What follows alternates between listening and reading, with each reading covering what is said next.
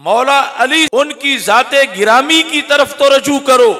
जिनके पहले नंबर के लिहाज से आज कुछ आवाज़ें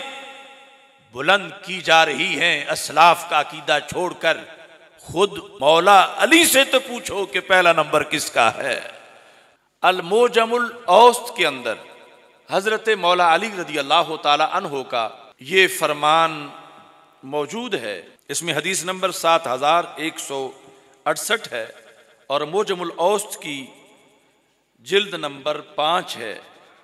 बड़े तारीखी और कीमती अल्फाज। मुकम्मल सनद के बाद सिला बिन जोफर कहते हैं, काना अली रदी अल्लाह तहो इज़ा जोकेरा इंदाहू अबू बकर रदी अल्लाह तहो काला असबाक तजकुरूना कि जब भी हज़रत मौला अली रदी अल्लाह तह के पास सईद सिद्दीक अकबर रदी अल्लाह तहो का ज़िक्र होता तो आप फरमाते, वो अबू बकर कि जिनका हमेशा ही पहला नंबर होता है। सबकत लेना, इसमें मुबारका का सीगा कि वो अबू बकर कि जिनको कोई पीछे से जाके किसी नेकी के मैदान में भी पा नहीं सकता। कि वो जो हमेशा ही आगे होते हैं, जो हमेशा ही सबकत ले जाते हैं, जो हर हर वस्फ खास खूबी, फजीलत, कमालात मनाकिब में, नेकी के मुख्तलिफ़ मैदानों में,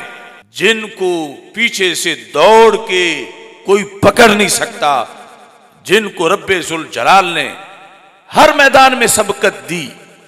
गोया के हज़रत मौला अली रदी अल्लाह तहो के नज़दीक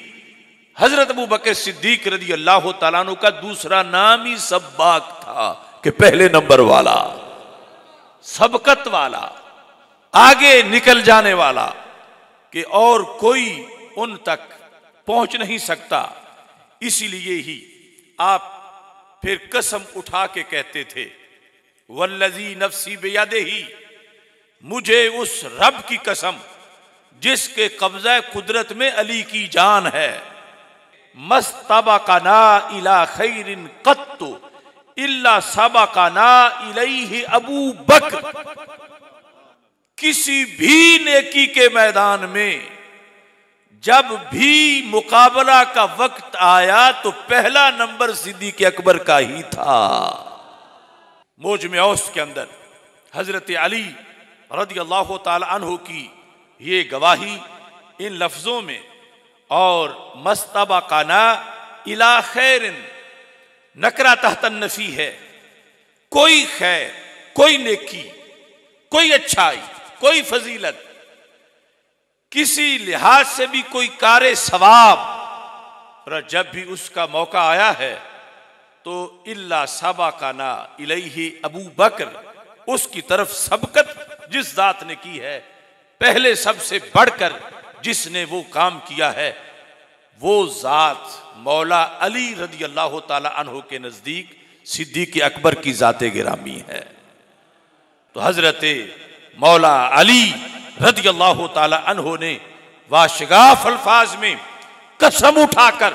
पहला नंबर भी बताया और कहा, अगर अबू बकर सिद्दीक रदी अल्लाह तहो का तस्करा नाम लिए बगैर करना हो तो कह दिया करो, वो जो पहले नंबर वाला है, वो जिसे रब ने हमेशा सबकत दी है तो हज़रत सैदना सिद्दीक अकबर और हज़रत सैदना मौला अली रज़ी तहो दोनों का नारा लगाते हुए मैं यूँ कहता हूँ नाराय हैदरी नाराय हैदरी, है यही कुरान के अंदर, है यही कुरान के अंदर। है यही ईमान के अंदर।